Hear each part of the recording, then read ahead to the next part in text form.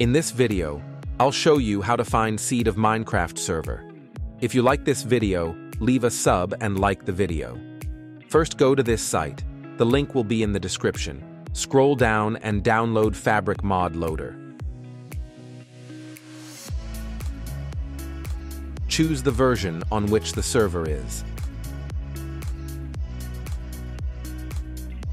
Then go to this site, the link will be in the description, and download SeedCracker mod.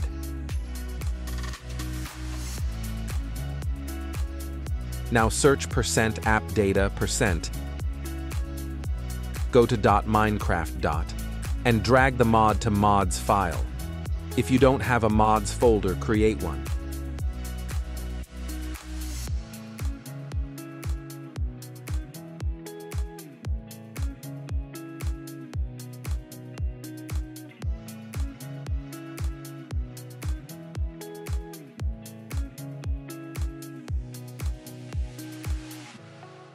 Now open the launcher and choose Fabric version.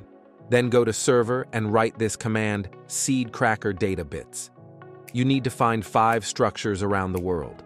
The structure will be in the box.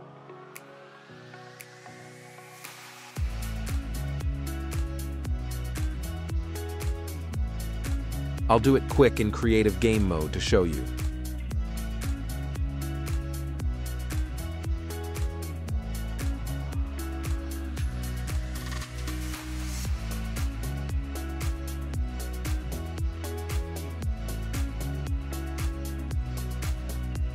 As you can see, it is seed on this server.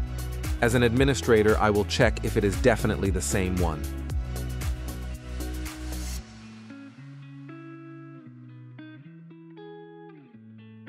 Yes, it is.